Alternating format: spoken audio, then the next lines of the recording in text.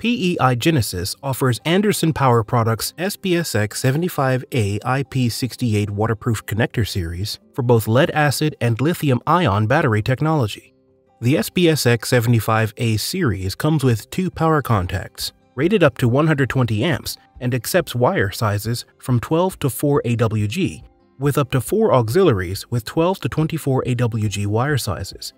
These connectors feature positive metal latches to help safeguard against accidental disconnects that may be caused by vibration, while a built-in cable clamp allows for strain relief on wires.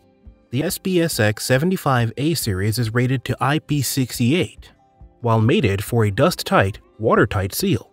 When unmated, the use of covers offers the same rating.